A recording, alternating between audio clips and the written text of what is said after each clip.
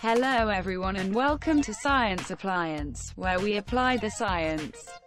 I am not science today, but instead, I am a robot that he created called LemonBot. Yes science loves lemons if you can't tell. Today I am going to be talking about a theory on Five Nights at Freddy's, which contains various spoilers from the fourth closet. So beware of spoilers in this video. Science has partaken in many streams of Warlord Suspect, and some on his second channel called Fredbear and Friends. And on those streams they have talked about the gravestone ending in particular. It seems like such an impossible detail in the franchise to solve, but now, with most pages of the soon-to-come book spoiled on the internet, we can now have a good understanding of this key issue in the latest installment. If you aren't up to date with the sixth game, which has been out for about six months now, then after getting the lore ending, you are greeted with this screen. It is just a picture on the screen saying, the end, with birds chirping in the background.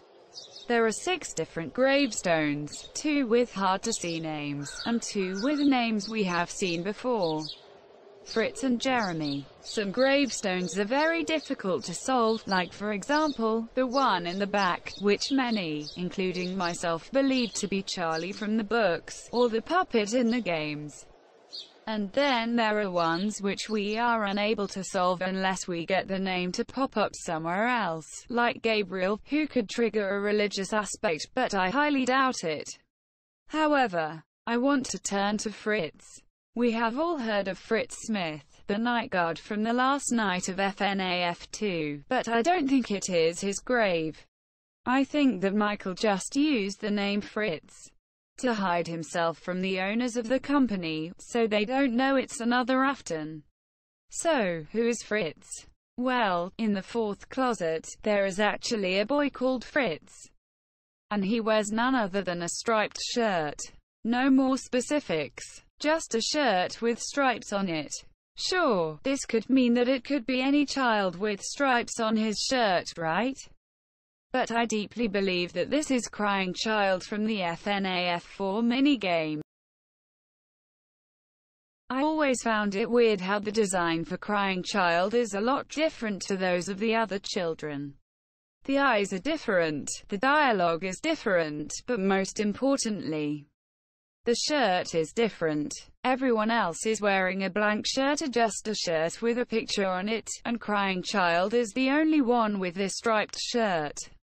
This goes across the entirety of every minigame, and to me, says that Crying Child has to be Fritz. So, what about the others?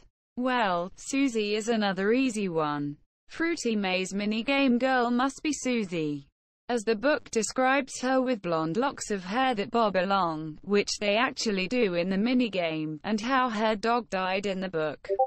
Fritz is Cece and Susie is Fruity Maze Girl. There's only one more for now that I can predict out of the six, and that is the gravestone at the back. Notice how it is separate from the others.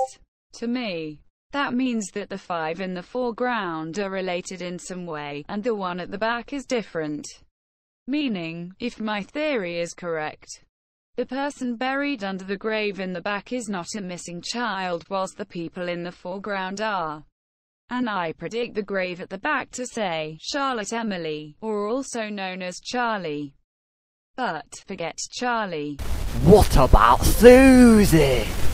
Okay, I know that was a great entrance, but thank you LemonBot for taking over this video and we're going to continue with this theory in the next episode because I'm bored of writing this episode. And you can probably tell I was bored because I got a robot to tell them